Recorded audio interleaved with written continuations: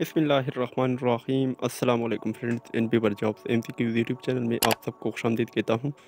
Friend तो ये आज ये जो इंटरव्यू गुजरा है, Sindh police constable, lady police constable का, और ये इसके एम सी क्यूज़ जो कि आज पूछे हुए हैं, कल भी इंटरव्यू होंगे तो ये एम सी क्यूज़ आप, सॉरी, ये जितने भी क्वेश्चन उन्होंने पूछे हुए हैं तो ये आप सब याद करें।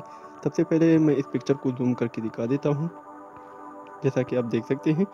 ये इन्होंने पूछा हुआ है कि पाकिस्तान विच डेंजरस फ्राम अच्छा यानी पाकिस्तान को किस ख़तरात का सामना है? तो ये आपने जो है इसका जवाब देना है।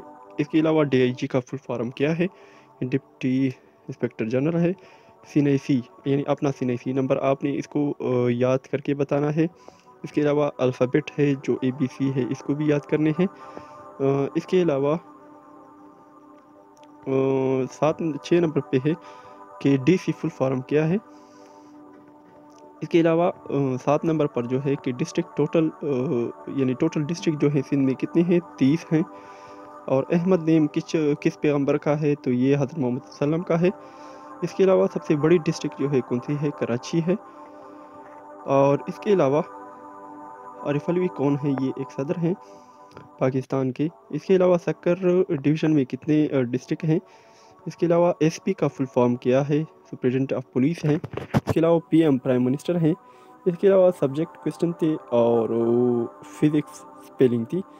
तो फिज़िक्स की स्पेलिंग जो है P H Y S I C S है। इसके अलावा एक ऐसी भी उन्होंने रीट टाइप की हुई थी, यानी आपने वो भी लिखनी थी। मैं आपको दिखा देता हूँ वो भी।